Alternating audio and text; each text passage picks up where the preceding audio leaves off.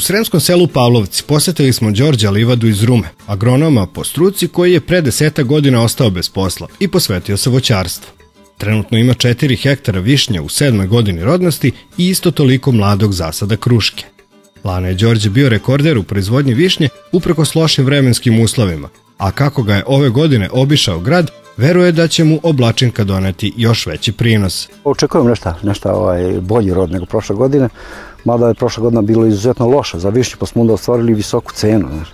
Ovaj, malo je rodila i većina voćnjaka je podbacila dosta, ovaj moj ovde koji vidite u prilogu je dosta dobar i dosta kvalitetno. Ja to sve odradim onako po punoj tehnologiji kako to nauka zahteva i onda normalno da posle toga imam kvalitetnu višnju i dobre prinose.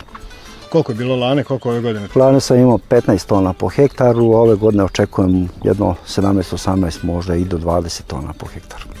To je koliko ste rekli po stablu? Pa to je 25 kila otprilike po stablu u proseku. Nada se Đorđe dobroj ceni i ove godine, a baš tih dana kad smo ga posetili, neposredno pred berbu, trebali su pregovori sa kupcima, koji višnju iz Pavlovaca uglavnom izvoze u Francusku. Prethodnih godina plasman je bio veliki problem, ali stvari su se u tom pogledu popravile, kaže Đorđe. Od toga zavisi i koliko će radnici za berbu imati zaradu po ubranom kilogramu ovog voća. Prošle godine je cena bila 15 dinara, mislim da ćemo se zadržati na tom nivou, opet sve zavisi od ovih kupaca višnje. Ako oni daju ne, neku veću cenu, zašto i mi ne bi dali i tim ljudima i oni da zarave neku veću paru na berbi.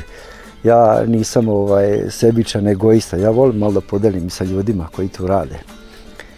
I dobro je to, ovaj, ima dosta radnika, u to vreme se raspuste i đaci, onda do, dosta dođe dece i to se za 5-6 dana obere tako. Ove godine grad je pričinio velike štete proizvođačima širom Srbije. Bar zbog toga sve više oni koji razmišljaju o podizanju protivgradnih sistema. I Đorđe to ima u planu, ali ne za višnju, već za 4 hektara zasada kruške, koja je izuzetno osetljiva i ne samo što daje manji prinos, već je posle toga biljka podložnija bolestima, naročito Ervini kaže voćar iz Rume. Jabuku i krušku treba stavljati protiv, protiv grade mreža, mislim za višnju da nije. Neophodno zato što to višnja je biljka kratke vegetacije, znači od početka osiguranja maja pa do berbe mesi i po dva dana.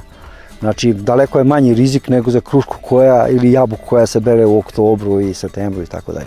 Đorđe je uzoran proizvođač i ništa ne prepušta slučaju, pa nas nije iznenadilo kad nam je rekao da godinama osigurava svoje voćnjake. Jeste to poprilično velika investicija, ali se pogotovo ove godine pokazalo koliko ima smisla plaćati osiguranje. Pa evo, na toj površini ja sam to osigurao na 60 tona sa nekom cenom 80 dinara, to izađe oko 300.000 osiguranja.